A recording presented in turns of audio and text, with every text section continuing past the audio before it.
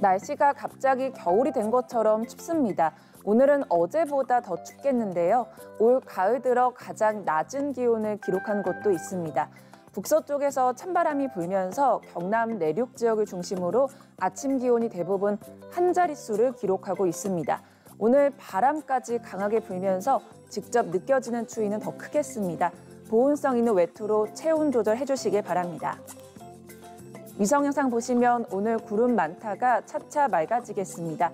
우리 지역에 내려졌던 강풍특보는 모두 해제됐지만 오늘 오전까지 경남 남해안 지역을 중심으로는 조금 강한 바람이 불겠습니다.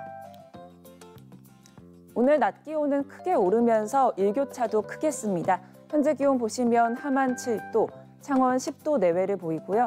낮에는 창원 21도, 양산은 22도 선에 머물겠습니다.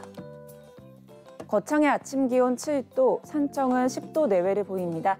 낮에는 거창 20도, 합천은 21도까지 오르겠습니다.